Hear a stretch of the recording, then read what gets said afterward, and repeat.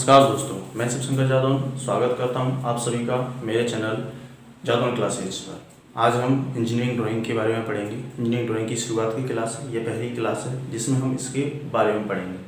Engineering drawing की परिभाषा क्या होती है, इसका उपयोग क्या है, इसका महत्व तो क्या है, इसको हम यूज़ क्यों लेते हैं? क्योंकि आपने देखा होगा कि लगभग लगभग साइंस इंजीनियरिंग की हर ट्रेड में ये पढ़ाई जाती है। ठीक है तो इसका उपयोग बहुत ही ज़रूरी है, हर इंडस्ट्री में इसका यूज़ किया जाता है। इसलिए इसको हर ट्रेड में पढ़ाया ही पढ़ाया जाता है। अगर आपको ये मेरा वीडियो पसंद आए तो इसको लाइक करना और सब्सक्राइब ज़रूर कर देना चैनल को, है ना? तो शुरुआत करते हैं हम। आइए। यह है इंजीनियरिंग ड्राइंग तो सबसे पहले इंजीनियरिंग ड्राइंग से हमारे दो शब्दों से मिलकर बना हुआ है। अगर आप इसमें ध्यान दोगे तो इंजीनियरिंग और ड्राइंग तो जैसे हमारी एक परिभाषा तो इंजीनियरिंग ड्राइंग की हो सकती है। तो इंजीनियरिंग ड्राइंग को समझने से पहले हम पहले केवल ड्राइंग को समझते हैं कि ड्राइंग क्या होता है। तो अगर ड्राइंग की बात करूँ तो मेरी जो ड्राइंग होती है, आप कोई भी चीज़ है अगर आप उसकी कल्पना कर लीजिए या फिर कोई भी वस्तु को आप देख कर उसे चित्र के रूप में या आकृति के रूप में बना दीजिए तो वो हमारी इंजीनियरिंग वो सॉरी, हमारी ड्राइंग कहलाती है। ठीक है? अगर यही ड्राइंग आपने जो आकृति बनाई है या जो कल्पना करके जो भी चित्र बनाया है, अगर वो चित्र इंजीनियरिंग सेक्टरों से रिलेटेड हो, जैसे बिल्डिंग्स हो, और या फिर हमारा जैसे मशीनरी के पार्ट्स हों या इलेक्ट्रिकल से रिलेटेड हो कंपोनेंट हों, ऐसी चीज़ें भी अगर आप ड्राइंग बनाते हो तो वो हमारी इंजीनियरिंग ड्राइंग कहलाती है। इंजीनियरिंग ड्राइंग सिर्फ़ इन चीज़ों का डायग्राम बनाना इंजीनियरिंग ड्राइंग नहीं कहलाता। थोड़ा सा एक चीज़ इसमें और ऐड करना चाहूँगा। इंजीनियरिंग ड्राइंग में जैसे हमारी जो आप नॉर्मल ड्राइंग बनाते हैं हम, उसमें कोई ऐसी माप वगैरह कुछ नहीं होती है, लेकिन इंजीनियरिंग ड्राइंग प्रॉपर रूप से बनाई जाती है। उसके कुछ नियम होते हैं, उसमें कुछ फॉलो करने पड़ते हैं। प्रॉपर पेंसिल यूज़ करनी पड़ती है प्रॉपर लेटर राइटिंग यूज़ करनी पड़ती है। प्रॉपर हमें डायमेंशनिंग लेनी पड़ती है। तो ये सारी चीज़ों को अगर यूज़ करते हुए आप proper letter letter writing use कर रहे हो, आप प्रॉपर डायमेंशनिंग यूज़ कर रहे हो प्रॉपर हम सारी चीज़ें अगर यूज़ कर रहे हैं तो वो जो हमारी ड्राइंग बनेगी, वो हमारी कौन ड्राइंग कहलाएगी इंजीनियरिंग ड्राइंग कहलाएगी ठीक है? इंजीनियरिंग ड्राइंग का उपयोग क्यों है? इसके बारे में भी हम डिस्कस करेंगे। उससे पहले एक चीज़ जान लेते हैं कि इंजीनियरिंग ड्राइंग है, वो इंजीनियर की लैंग्वेज है। ठीक है, इसको लैंग्वेज के रूप में जाना था। किसकी लैंग्वेज के रूप में जाता है इंजीनियर की लैंग्वेज मतलब इंजीनियर जो भी कुछ कहना चाहता है, वो इसके थ्रू देता है आपसे। वो एक चित्र बना देता है, जो भी किसी भी चीज़ की बिल्डिंग का है या फिर मशीन का है। और वो जो भी वो कहना चाहता है कि कौन सी चीज़ कहाँ बनेगी, कैसी बनेगी, कितनी माप होगी कर्व होगा, नहीं होगा, ऊपर होगा, नीचे होगा, जो भी है। हिडन है अनहिडन है, जो भी चीज़ें हैं, वो सब उसी के थ्रू कहता है। तो इसीलिए हम इसको इंजीनियर की क्या कहते हैं? लैंग्वेज कहते हैं। छोटे से टॉपिक के बारे में हम बात करेंगे, जैसे हमारा जो तरीका है इसमें हम आगे बात करेंगे, कि जो वे ऑफ़ एक्सप्रेस होता है, कोई भी चीज़ कहने के कुछ तरीके होते हैं। जैसे कौन कौन से तरीके हो सकते हैं? पहला हो सकता है मौखिक। आप किसी भी बात को मौखिक रूप से कह सकते हो। किसी से अगर आपको मौखिक रूप से कोई बात कहनी तो आप कह सकते हो। मौखिक का मतलब बोल के कह सकते हो। ठीक है? लेकिन मौखिक रूप से आप हर तरीके की चीज़ को नहीं कह सकते। अगर आपको किसी बिल्डिंग का नक्शा समझाना है तो जैसे अगर आप एक आध मंजिल है या दस पाँच रूम का कमरा है तो आप आराम से समझा सकते हो कि भाई ये चीज़ ऐसे बनेगी ये चीज़ ऐसे बनेगी लेकिन वही बिल्डिंग अगर बीस मंजिला है और हर मंजिल पर चार, आठ आठ, दस कमरे, लाइट है, बात है, सीढ़ियाँ हैं, बहुत सारी चीज़ें हैं तो आप उसको नहीं समझा सकते अच्छी तरीके से कहाँ पर क्या बनेगा। ठीक है, इसलिए हमें इंजीनियरिंग ड्राइंग की ज़रूरत पड़ती है, क्योंकि हम मौके किसी चीज़ को नहीं समझा सकते। दूसरा होता है लिखित। लिखकर आप किसी चीज़ को समझा सकते हो। ये तो और ही ज़्यादा कठिन है। मौखिक रूप से तो फिर भी आप थोड़ा बहुत समझा सकते हैं। लिखकर तो इंजीनियरिंग ड्राइंग से रिलेटेड चीज़ों को समझाना बहुत ही मुश्किल है, ठीक है? तो इसलिए हमें इंजीनियरिंग ड्राइंग की ज़रूरत पड़ती है, क्योंकि यहाँ पर हमारा काम थोड़ा सा ढीला रह जाता है। यहाँ पर भी हमें थोड़ा सा दिक्कत आती है। तीसरी चीज़ होती है सांकेतिक। इशारों से आप किसी चीज़ को समझा सकते हो। चौथी चीज़ होती है हमारी ए के थ्रू आप या ड्राइंग बना के आप समझा सकते हो। तो ये जो चीज़ है, ये सभी चीज़ों को फॉलो करती है। इन सभी चीज़ों की ज़रूरत को पूरा कर देती है। अगर आप किसी चीज़ का चित्र बना के अगर आप किसी को दे देते हो, और अगर उसको नॉलेज है इंजीनियरिंग ड्राइंग के बारे में तो वो आराम से आप जो समझाना चाहते हो, जो कहना चाहते हो, वो समझ जाता है। इसकी और एक चीज़ है, इसकी ज़रूरत और क्यों पड़ी? क्योंकि इससे आप किसी भी चीज़ को लंबे समय तक याद रख सकते हो। लॉन्ग टाइम तक याद रख सकते लंबे समय तक। कैसे? जैसे मान लीजिए बिल्डिंगों का आपने देखा ही आज काम स्टार्ट किया है, सालों तक चलता रहता है। अब ज़रूरी नहीं है कि जिसने कॉन्ट्रैक्ट लिया है, वो पूरा कॉन्ट्रैक्ट पूरा करके जाए, या जो मजदूर आज काम कर रहा है, या जो इंजीनियर उस पर साइड पर काम कर रहा है, वो लास्ट तक वही काम करे। बीच में चेंज भी हो सकता है। तो जैसे मान लीजिए आज काम स्टार्ट हुआ और आपने समझा दिया उसको, पूरा, ये चीज़ ऐसे होगी, ये चीज़ ऐसे होगी, ये चीज़ होगी, ठीक है, उसने समझ भी लिया। और ज़रूरी नहीं है, तीन महीने बाद उसको एच डी वो चीज़ें याद रह जाएगी उसने उसने क्या क्या समझाया था। तो हो सकता है उससे कहीं ना कहीं थोड़ी बहुत गलती हो जाए, और जब आपसे दोबारा से पूछ नहीं आए, तब हो सकता है आप भी थोड़ी बहुत गलती कर दो। ठीक है? लेकिन इंजीनियरिंग ड्राइंग में ऐसा नहीं होता है। अगर एक बार ड्राइंग बन गई, ठीक है?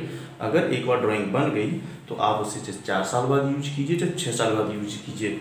जो चीज़ आज पढ़ने में आप उससे समझोगे, वही चीज़ आप चार साल बाद पढ़ने में समझोगे। उससे आप, उसमें कोई चेंज नहीं आने वाला। दूसरा फ़ायदा ये होता है कि जैसे मान लीजिए अगर आपने बिना ड्राइंग के कोई चीज़ स्टार्ट कर दी, कोई बिल्डिंग है, कोई मशीन है, कुछ भी बनाना स्टार्ट कर दिया, आज बनाना स्टार्ट कर दिया आपने, अचानक आपको आधा काम या बीस परसेंट, तीस परसेंट या पचास परसेंट या अस्सी परसेंट। काम होने के बाद आपको पता चला ये चीज़ ऐसे नहीं ऐसे नहीं होनी चाहिए थी, ऐसे बेटर रहती। क्योंकि एक बार हम सोचते हैं तब कुछ और होता है, जब उसको प्रैक्टिकल करते हैं तब कुछ और निकलता है जाके, है ना? तो फिर आप उसको ऐसा नहीं कर सकते कि फिफ्टी परसेंट काम को रद्द करके वापस नया काम स्टार्ट करें, बहुत लॉस होता है। इंजीनियरिंग ड्राइंग में इसका फ़ायदा रहता है। जैसे मान लीजिए आज आपने ड्राइंग बना दी और बनाने के बाद अगर उसमें कोई चेंज करना है तो आप उसको चेंज कर सकते हो दोबारा से बनाने में। ज़्यादा टाइम नहीं खराब होगा, ज़्यादा पैसा भी खराब नहीं होगा। जैसे आपने बनाई, आपने अपने बॉस को दिखाई ड्राइंग उसने उसमें एक दो कमी निकाली तो आप उसको साफ़ करके दोबारा बना सकते हो। कंप्यूटर बना रहे हो तो उसको अरेंज करके दोबारा बना सकते हो। सीट पे बना रहे हो तो साफ़ करके दोबारा बना सकते हैं। कोई दिक्कत नहीं है, कितनी बार भी बनाओ। जब फाइनल सबको पसंद आ जाए तो प्रोजेक्ट बनाना स्टार्ट कर दीजिए। है ना? तो ये इसका फ़ायदा रहता है, इसलिए हम इंजीनियरिंग ड्राइंग का यूज़ करते हैं। अब कई बार एक चीज़ आती है, जैसे मान लीजिए ये चीज़ आती है कि हर हर ट्रेड में हम क्यों पढ़ते हैं? हर कोई तो नहीं बनता ई वाला इंजीनियर हर कोई तो रिसर्च एंड डेवलपमेंट में नहीं जाता ना। फिर हर ट्रेड को क्यों पढ़ाई जाती है? कंप्यूटर साइंस वालों को भी पढ़ाई जा रही है इलेक्ट्रिकल वालों को भी पढ़ाई जा रही है आर्किटेक्चर को भी पढ़ाई जा रही है। आर्किटेक्चर हर बच्चे को पढ़ाई जा रही है। मैकेनिकल इंजीनियरिंग की हर बच्चे को पढ़ाई जाती है। मैं भी पहले यही सोचता था, क्यों पढ़ाते? फिर मैंने सोचा, जैसे हर कंपनी होती है, लगभग research and development R N D department her company में होता है लगभग लगभग ठीक है? इसमें यही होता है, चीज़ों को मॉडिफाई किया जाता है नए नए रिसर्च किए जाते हैं, कैसे चीज़ों को सुधारा जा सकता है तो पहले उनके बारे में सोचा जाता है, फिर उन्होंने ड्राइंग के बारे में एक्सप्रेस किया जाता है, बताया जाता है, या एक्स ड्राइंग में उनको उतारा जाता है। अब गवर्नमेंट को तो नहीं पता ना कि कौन सा स्टूडेंट कौन सा रिसर्च एंड डेवलपमेंट में जाना चाहता है, कौन सा प्रोडक्शन में जाना चाहता है, कौन सा मैनुफैक्चरिंग में जाना चाहता है। इसलिए ये ट्रेड ये सब्जेक्ट जो हमारी हर क्लास में डाली जाती है कि क्लास में से अगर एक बच्चा भी रिसर्च एंड डेवलपमेंट जाना चाहता है तो उसके लिए ये पढ़ना बहुत ही ज़रूरी है, ठीक है? तो ये बात हुई हमारी बेसिक बेसिक चीज़ों की, कि क्यों ज़रूरत पड़ती है इंजीनियरिंग ड्राइंग की, क्यों पढ़ना चाहते हैं या क्यों पढ़ना ज़रूरी है? ये इंजीनियरिंग ड्राइंग के बारे में बेसिक बेसिक चीज़ें हैं फिर इसको बनाने के लिए हमें किस किन चीज़ों की ज़रूरत पड़ती है? बेसिकली देखो, सबसे पहले तो इंस्ट्रूमेंट की ज़रूरत पड़ती है।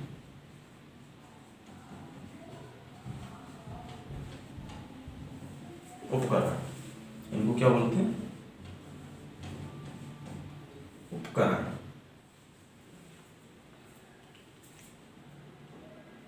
उपकरण ठीक है इंस्ट्रूमेंट बोलते हैं इनको उपकरण बोलेंगे उपकरणों का यूज़ है वैसे इंजीनियरिंग ड्राइंग दो प्रकार की होती है इसमें थोड़ा समय और बता दें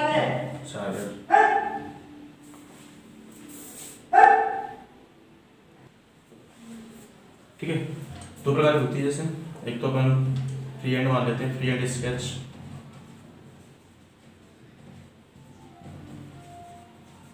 और दूसरा होता है instrumental drawing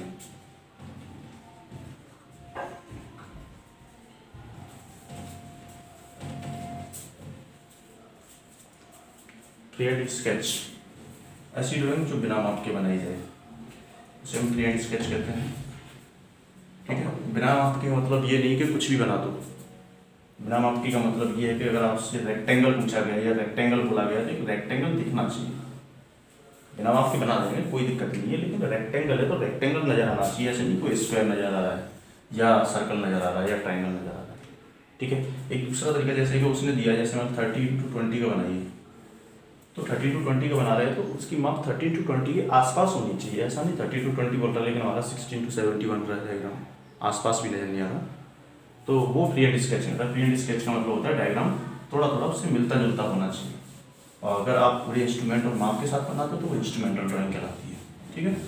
ये दो तरह की ड्राइंग होती है बेसिकली उसके बाद आते हैं कि यूज़ क्या क्या आते हैं तो उपकरण यूज़ आते हैं। उपकरण में जैसे पेंसिल यूज़ लेते हैं हम। पूरी चीज़ों के बारे में नहीं मैं जाऊँगा डिटेल में मेन मेन चीज़ें उनको बता दूँगा। पेंसिल लेते हैं स्केल लेते हैं टी स्क्वायर लेते हैं सेट स्क्वायर लेते हैं। ठीक है मिनी ड्राफ्टर लेते हैं।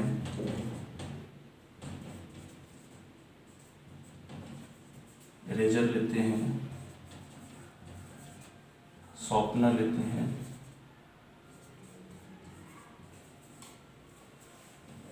और सीट लेते हैं। ये कुछ चीज़ें हैं जो हमारे काम आती हैं डिवाइडर पर डिवाइडर भी लेते हैं।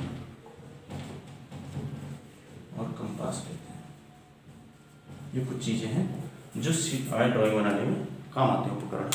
ठीक है? पेंसिल, सब जानते हैं। ड्राइंग में जो पेंसिल होती हैं, वो अलग टाइप की ली जाती हैं। ऐसे नहीं एक ही पेंसिल होती हैं। जिनकी कुछ वैल्यू होती है एच से लेके एच नाइन तक होती है, इधर एफ़ से लेके सेवन एफ़ तक होती है। ठीक है? ये हमारी ड्राइंग होती है। ड्राइंग की कुछ पेंसिल होती हैं, जिनको हम काम लेते हैं। ये अपन जब पेंसिल का चैप्टर पढ़ेंगे तो पेंसिलों के बारे में पढ़ेंगे। तो पेंसिल का यूज़ क्यों करते हैं? स्केल का यूज़ क्या होता है? इनके बारे में थोड़ा थोड़ा जान लेते हैं। पेंसिल हम जानते ही हैं, सबने यूज़ किया तो इसके बारे में ज़्यादा पढ़ने की ज़रूरत नहीं है हमें। स्केल होता है स्केल हम मोस्टली प्लास्टिक वाला यूज़ करते हैं। जो प्लास्टिक का स्केल आता है वो यूज़ करते हैं। स्टील का स्केल इसके लिए यूज़ नहीं करते, क्योंकि अगर हम क्लास में पढ़ रहे हैं तो हो सकता है कभी किसी से लड़ाई वगैरह हो जाए तो उससे लग लग जाए। या फिर स्टील से एक और इसका ड्रॉबैक है, जो ड्रॉबैक ये है कि सीट हमारी ब्लैक हो जाती है। इसलिए हम स्टील का स्केल भी यूज़ नहीं करते हैं। और स्टूडेंट की नज़र से थोड़ा महँगा भी होता है। लकड़ी का भी स्केल आता है, उसको यूज़ इसलिए नहीं करते क्योंकि वो ट्रांसपेरेंट नहीं होता है, उसमें आर पार दिखता नहीं है। तो मैं लाइन बनाने में माप लेने में दिक्कत आती है। तो यहाँ पर ज़्यादातर हम प्लास्टिक का स्केल करते हैं। टी स्क्वायर यूज़ करते हैं। टी स्क्वायर आपने देखा होगा, कुछ इस तरीके से बना होता है। सेट स्क्वायर दो इसमें स्केल होते हैं। एक स्केल ऐसा होता है और एक स्केल ऐसा होता है। ये आपने देखे होंगे। इंस्ट्रूमेंट बॉक्स जो हमारा ज्योमेट्री बॉक्स आता था, उसमें आते थे दो कुछ इस तरीके से।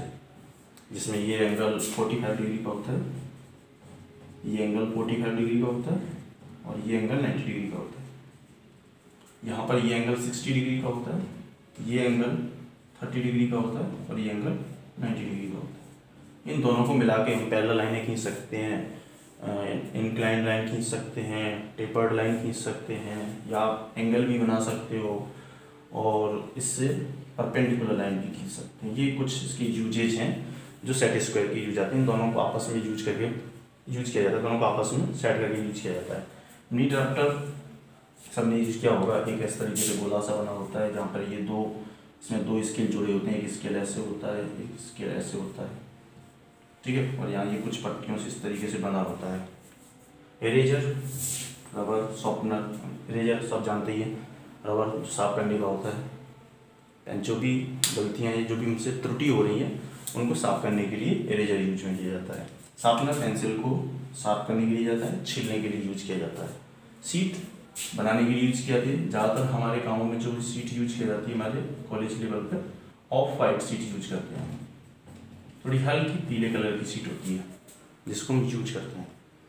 डिवाइडर डिवाइडर एक प्रकार जैसा ही होता है, देखने में बिल्कुल प्रकार नज़र आता है, लेकिन प्रकार में दोनों साइड में पिन नहीं होती है। एक साइड में पिन होती है, एक साइड में पेंसिल लगाने की जगह होती है, जबकि डिवाइडर में दोनों तरफ़ पिन होती है। तो जो प्रकार जैसा दिखता है, जिसमें दोनों तरफ़ पिन होती है ना, वो हमारा डिवाइडर कहलाता है। डिवाइडर का यूज़ होता है किसी भी लाइन को बराबर भागों में बांटने के लिए। जैसे मान लीजिए, जैसे आपके पास ये लाइन है, दस सेंटीमीटर की अगर आपसे कहे कि एक एक सेंटीमीटर में बांटिए तो आप आराम से इसके लगा के एक सेंटीमीटर आराम से बांट दोगे। कोई दिक्कत नहीं, दस भाग इसके कर दोगे।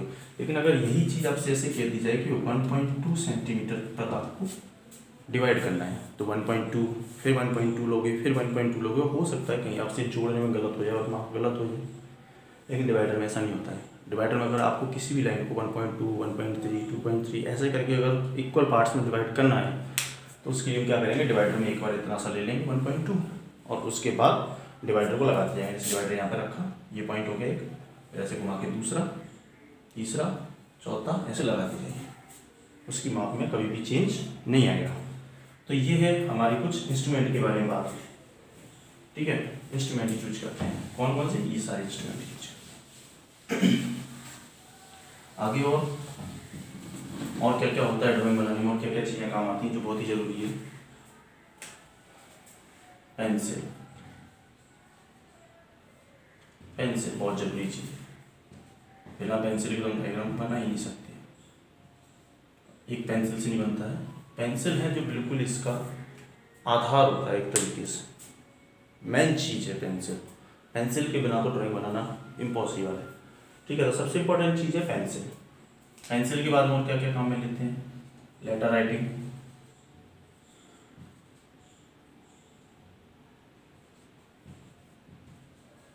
इसको हम अक्षरांकन बोलते हैं। ठीक है? एक होता है डायमेंशनिंग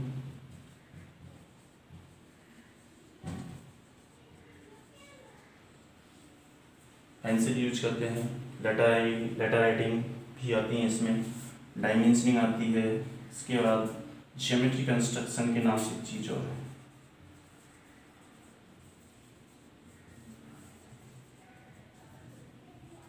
कंस्ट्रक्शन ठीक है?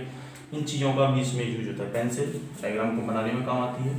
लेटर राइटिंग आपको कोई भी चीज़ लिखनी है सीट पर, अपना नाम लिखना है, किसी चीज़ की माप लिखनी है, किसी पार्ट का नाम लिखना है तो वो जो लिखने की क्रिया है, वो क्या कहलाती है हमारी? अक्षरांकन कहलाती है या लेटर राइटिंग कहलाती है। किसी भी आप पार्ट बना रहे हो पार्ट पर माप होती है। माप लिखी जाती है, उसको हम कहते हैं डायमेंशन जैसे मान लीजिए आपने ये चीज़ बना दी तो इसकी कुछ माप होगी? इसकी कुछ माप होगी। इनको लिखते हैं। लेकिन ये ऐसे नहीं कि कुछ भी हो और उठा के लिख दिया। इसके बहुत सारे नियम है। वो अपन जब मैं इस चैप्टर को पढ़ाऊँगा आगे हो उसमें हम डिस्कस करेंगे डायमेंशनिंग क्या होती है कौन कौन से रूल है डायमेंशनिंग के कैसे कैसे करते हैं, कहाँ पर क्या आ जाए, कौन सा पार्ट होता है, तब कैसे डायमेंशनिंग करते हैं, वो डायमेंशनिंग वाले चैप्टर में पढ़ेंगे। अभी बेसिकली ये समझ लेते हैं डायमेंशनिंग क्या होती है। विमांकन बोलते हैं इसको बीच